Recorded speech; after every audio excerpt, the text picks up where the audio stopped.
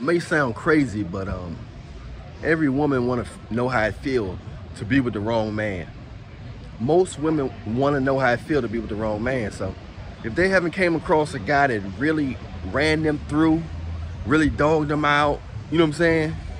They know that energy. They want to come across a real devil in the flesh. If they don't come across that devil in the flesh, they're gonna think you weak. They're gonna keep on um, they're gonna keep on skipping. They're gonna keep on skipping until they find that devil in the flesh. They're gonna keep on skipping. So they they looking for that devil in the flesh, bro. You know, so a lot of guys, they, a lot of women ain't gonna respect you until they, you know, they want that. I don't, you know what I'm saying? They don't, they feel more alive when they chasing you. They feel more alive when they running after you. They feel more alive when they, when you don't call them, when you got them wondering. When you got them for certain, when they know for certain that you love them and you'll do anything for them, they don't appreciate that. They don't appreciate knowing that, you know, they don't appreciate knowing that you uh you know, they don't appreciate knowing that knowing that you would um you really love them or you appreciate them. They don't appreciate none of that, man. You know what I'm saying? So you gotta understand that. A lot of y'all don't y'all think y'all trying to figure out what it is. Ain't no mystery, man. The mystery is you gotta learn how to do everything you wanna do. You know what I'm saying? And um, that's just that's pretty much it, man. Cause they they don't care, man. They don't care. They don't care how good you are. They think they can always find a good guy.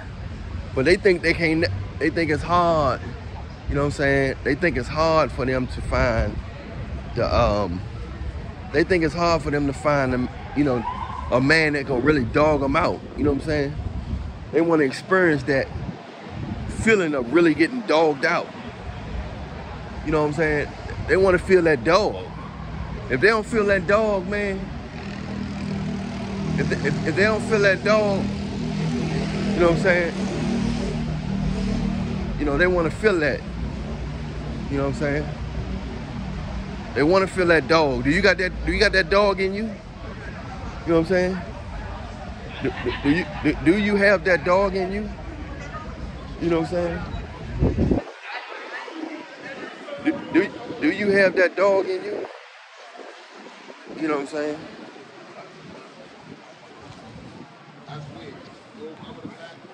So that's the only thing they gonna respect, bro. You know what I'm saying? That's the only thing they gonna respect.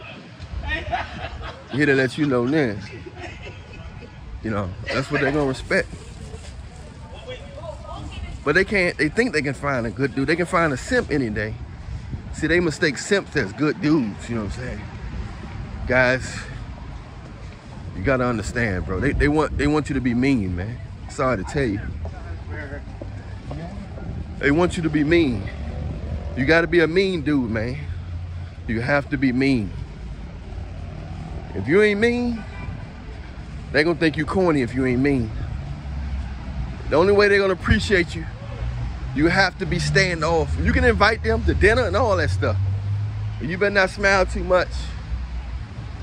You know, you better have some silent moments in there. Because, because if you don't,